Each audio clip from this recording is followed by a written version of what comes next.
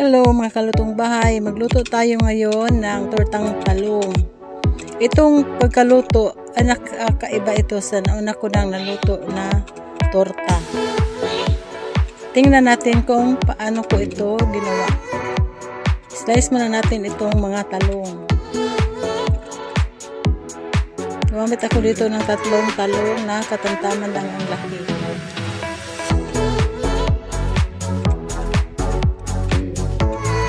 Hiwa tayo ng sibuyas at kamatis.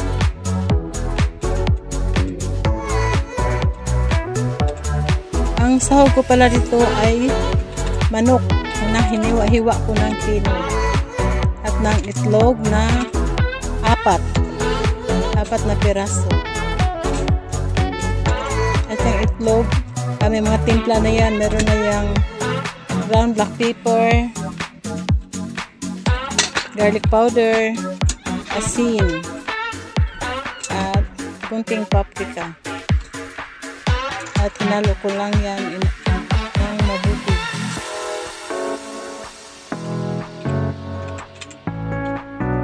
Ayan ang paprika. Ah, brown black pepper. Haluin lang natin ng mabuti. Ayan na ang ating bawang, sibuyas na pula at kamatis. At ito yung alamang na kulay pula. Hugasan ko yan para mawala yung sobrang pula niya. Ayan, at maglagay na ako ng mantika dito para gisa na natin ang ating lulutuin. Ayan, ginisa ko na ang manok na hiniwa ko ng pin-pin tulad ng sinabi ko sa inyo kanina. Ayan. Best part yan ng manok, mga kalutong bahay. Hiniwa ko lang yan ng pino-pino at igisa lang natin dyan sa mantika. Parang pina-fry natin ng konti.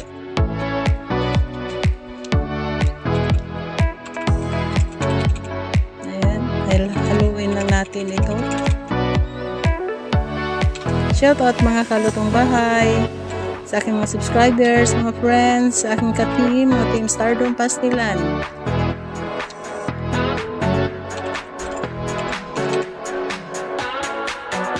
Ayan, gis gisa pa natin ito.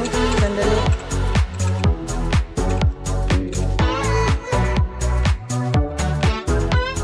Ayan, medyo na-brown na siya.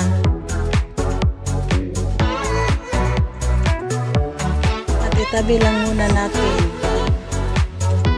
Ilipat ko dito, dito, sa kabila.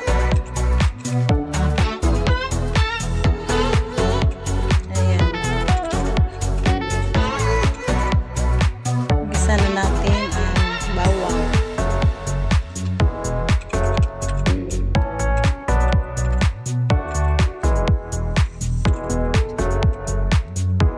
Sa medium heat lang tayo mga no?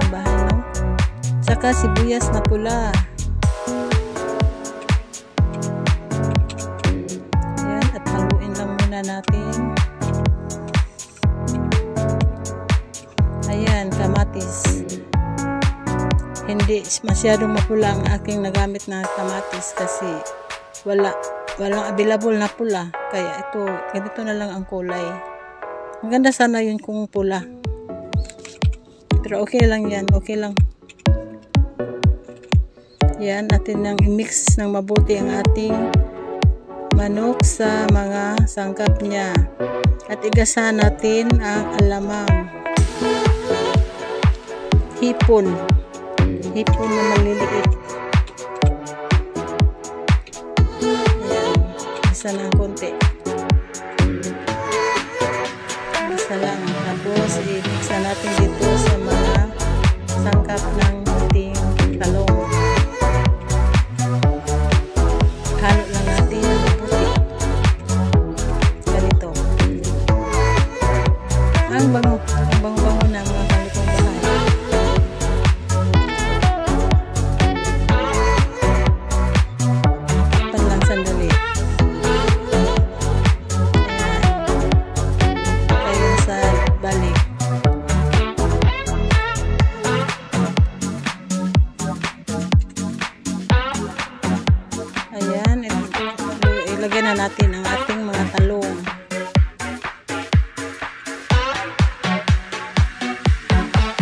ito ang paraan, isa kong paraan sa pagluluto ng talong mga kalutong bahay kasi ang dami kasi naming talong.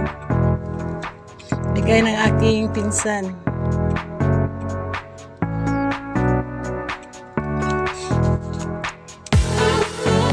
Ayan. Excuse me. Haluin lang natin ng mabuti para ma-mix yung mga sangkap sa talong.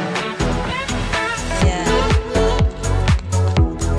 Halo-haluin hanggang haluto at takpan ng sandali. Lagay ako dito ng ground black pepper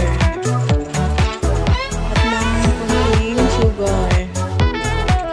At hindi na ako naglagay dito ng asin ha kasi meron na tayo dito Pero tikman pa rin ninyo kapag sakaling kulang pa kayo sa alat, kulangan kayo. Pwede pa ninyo madagdagan ng asin.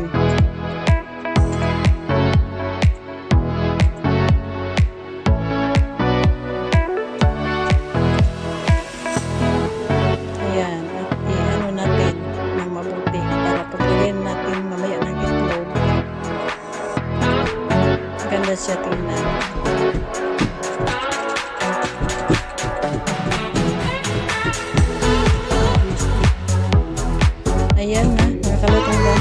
timpla na yan ang ating egg. Mga eggs. Ayan, apat na piraso yan.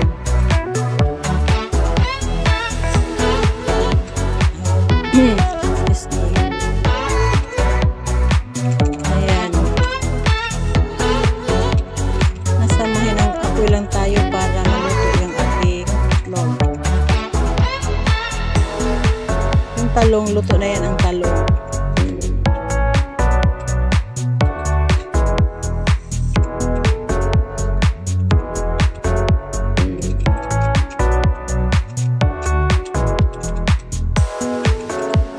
Lagay ako dito ng green pepper.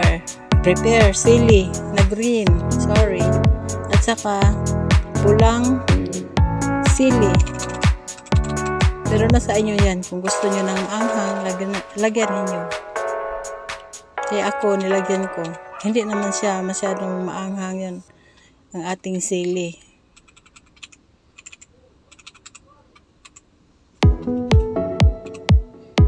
Ayan.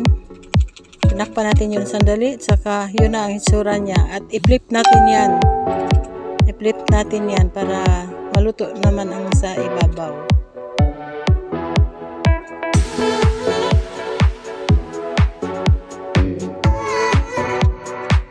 Ayan, i-flip na natin. At yan ang ating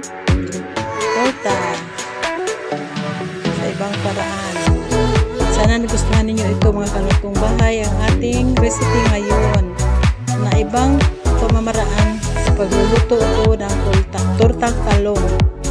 Sana nagustuhan ninyo ito. Ayan, slice tayo dito.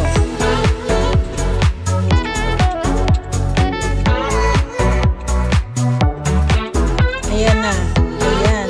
Ang sarap niyan. Maraming salamat.